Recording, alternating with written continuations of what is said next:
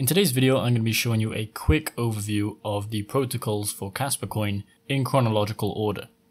So I've got this document here that kind of outlines what these protocols are and how they relate to Kaspa Coin. And we're going to be looking at them all and then I'm going to be explaining kind of what they do and what the evolution leads to in terms of the future of Kaspa Coin. So these are all cited on the Kaspa Coin website. I'll try leave links to all of them in the description below. But if you can't find the links, they're on publications here. So you can just click on Kaspa Coin and click on publications. And at the bottom, it shows research publications for pretty much all of the things discussed in this video. So let's start out our timeline in 2013 with the Ghost protocol. So this was authored by Dr. Yonatan Sompolinsky, and we know who that is, and Aviv Zohar. This is talking about the Ghost protocol and Ghost actually stands for, if we scroll down here uh, through this paper, Greedy Heaviest Observed Subtree, so Ghost. In this section we present our main contribution to the protocol, a new policy for the selection of the main chain in the block tree. The advantage of this suggested change to the protocol is that it maintains the security threshold for successful 50% attacks even if the network suffers from extreme delays and the attacker does not. This allows the protocol designer to set high block creation rates and large block sizes without the fear of approaching the 50% attack cliff edge, which in turn implies that high transaction throughput can be easily securely maintained. So right here they're talking about the 51% attacks that a lot of networks are basically their main threat is the 51% attack for proof of work cryptocurrencies. So here we have a greediest heavy observed subtree which allows the network to suffer from extreme delays, and the attacker does not, but it also protects the network in these delays. And as it says here, the protocol designers to set a high block creation rate and large block sizes without fear of approaching the 50% attack cliff edge. So therefore, we can have higher transaction throughput and be securely maintained, which is what Kaspa Coin does right now. So this is like the seed for Kaspa Coin. This is like when, you know, the ideas come in your head of what you can create, this is probably the seed in 2013, remember, so this was 10 years ago that this paper was written. Now, Ethereum did nearly adopt it into their protocol. Uh, it says, in contradiction to other questions asked on this post, Ethereum actually does not use Ghost, but it was considered. Original Ghost protocol replaces Bitcoin's longest chain rule with the heaviest subtree, having all uncles contribute to the total difficulty. Ethereum does, however, use a modified version of the inclusive protocol roughly an inclusive, new blocks reference multiple predecessors, non-conflicting transactions of blocks outside the main chain are included in the ledger. So the difference between Ethereum and Kaspa Coin obviously is the DAG. So with Ethereum, it's just a chain and then DAG obviously references multiple blocks and it looks for orphan blocks and it references those as well so they're not wasted. So that's Ghost Protocol and it's obviously been cited a lot by the Ethereum team and other cryptocurrencies across the board since 2013 when it came out. A lot of people have cited it for a potential use case. Then in 2016, Yonatan comes out with Spectre Protocol, which we have here, which he also wrote with this Yoad Lewenberg and Aviv Zohar again. Now, this is the main basis of what we see for Kaspa Coin. So Ghost was kind of just an idea and a protocol that could be implemented instead of the Bitcoin longest chain rule. However, this is the main actual basis of Kaspa Coin is in the Spectre protocol. So it says Spectre is a new protocol for the consensus core of cryptocurrencies that remains even secure under high throughput and fast confirmation times. At any throughput, Spectre is resilient to attackers with up to 50% of the computational power. Spectre can operate at arbitrarily high block creation rate, which implies that its transactions confirm in mere seconds, limited mostly to the round trip time in the network.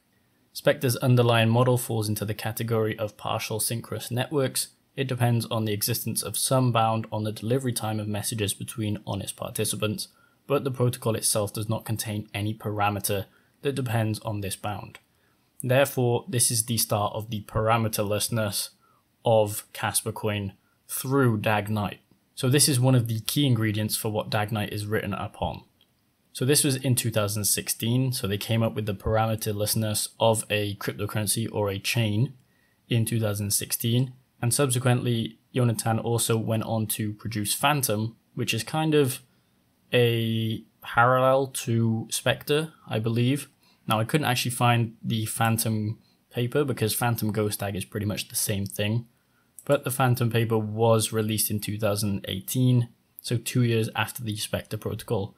And there's a video on YouTube here, Spectre B Pass. If you can see here, Phantom protocol, and then why it's secure, and then the Spectre protocol on top of that.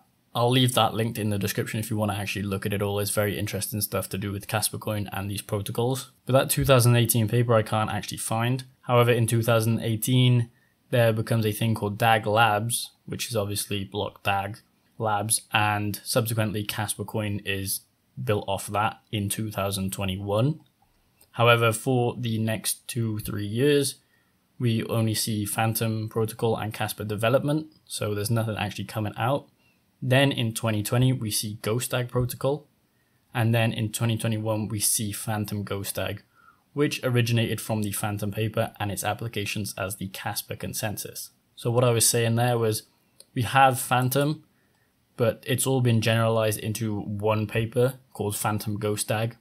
So we had Phantom and GHOSTDAG, and it's just kind of put together. As it says by here, Spectre and Phantom GHOSTDAG are somewhat parallel because they both have properties that others do not. GHOSTDAG has linear ordering, whereas Spectre does not, but Spectre is parameterless. But only DagKnight achieves both of these, thus acting as the technological diamond in terms of flow. So Phantom GHOSTDAG plus Spectre is what makes up DagKnight.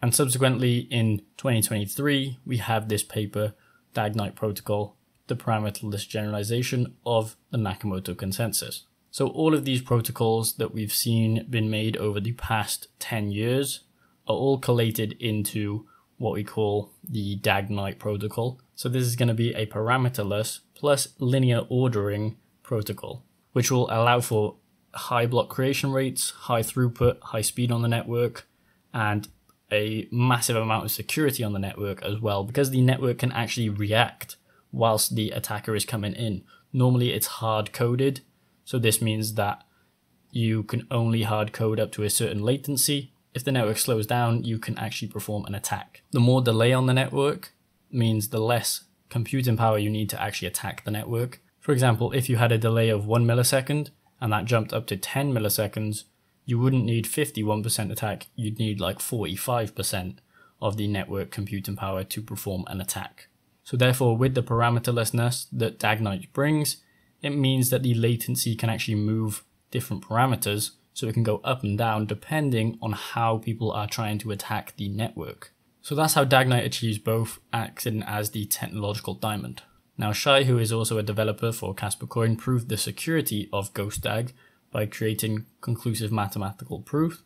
This proof was then upgraded and extended by Michael Sutton to form a proof for DagKnight.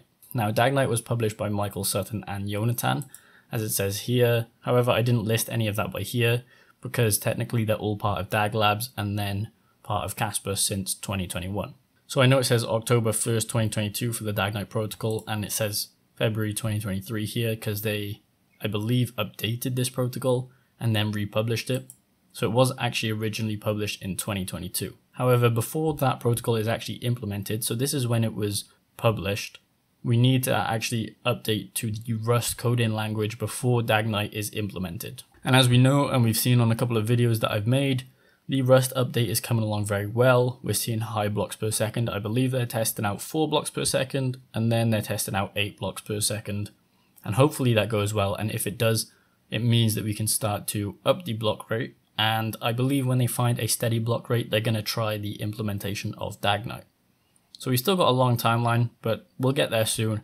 And hopefully Kaspa's vision that they have for it can be achieved in a relatively short time frame in terms of cryptocurrency. So we're talking maybe three years, maybe two years, something like that.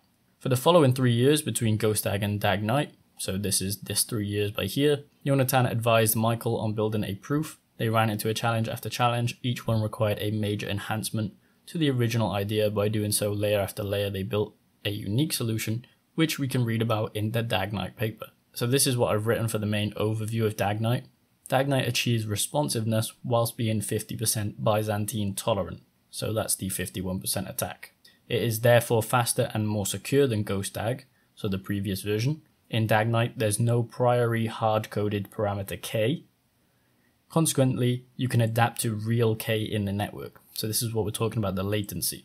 In DagKnight, clients of their own wallet should incorporate k into their local confirmation policy of transactions, similarly to how some clients require 6 confirmations in Bitcoin and some 30 confirmations such as exchanges. So when talking about confirmations on the network, you could see normally if you're transferring, you know, your funds over to a centralized exchange, you'll see that you have to wait a certain amount of confirmations before they can verify that that is gone through. So the more confirmations you can get on the network, the quicker you can verify transactions. And therefore, you know, we can actually verify transactions very quickly in comparison to other coins like Bitcoin or Ethereum.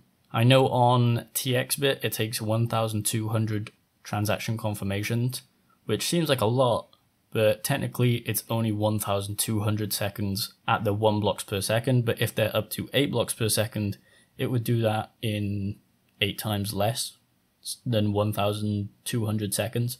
So you can see how having a higher throughput and higher blocks per second could lead to quicker confirmations on the network, and therefore you can verify transactions quicker. And this is what DagKnight is supposed to achieve overall. So that's just my quick overview of the protocols for Kaspa Coin and what it's built upon. Obviously, you can deep dive into it more if you want to read all the protocols. I've linked them down below. Lastly, on the Kaspa website, it says that the upgrade consensus to follow the DagKnight protocol is in development, but the Rust language coding upgrade needs to be completed first. So it's in testing, it's going to be completed, and then this will probably be put up for testing, and then it will be completed I want to say in a year's time, but it's probably looking like two years' time. And hopefully, we know that Jonathan's always working on something new, so maybe he'll come out with another publication that will add to Kaspa Coin. So I hope you guys learned something from this. If you did, please like and subscribe to the channel. And hopefully I can hit 2,000 subscribers soon where I'll probably be doing a Kaspa giveaway.